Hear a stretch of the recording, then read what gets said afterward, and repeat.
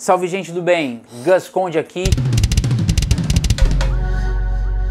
E eu vou fazer um Gus Conde Drops, alguns vídeos rapidinhos, reflexões sobre diversos temas. E a primeira reflexão que eu quero deixar aqui é a vida como um prato. Quantos por cento do seu prato é sal ou pimenta? Provavelmente 1%. Se você não colocar esse 1% no seu prato, ele vai afetar diretamente os outros 99%. Então fica a reflexão: o que na sua vida, qual é o 1% na sua vida que se você adicionar, que se você fizer, ou talvez você fizer de maneira diferente, vai afetar diretamente os outros 99% da sua vida? Fica a reflexão para pensar. Valeu, até o próximo.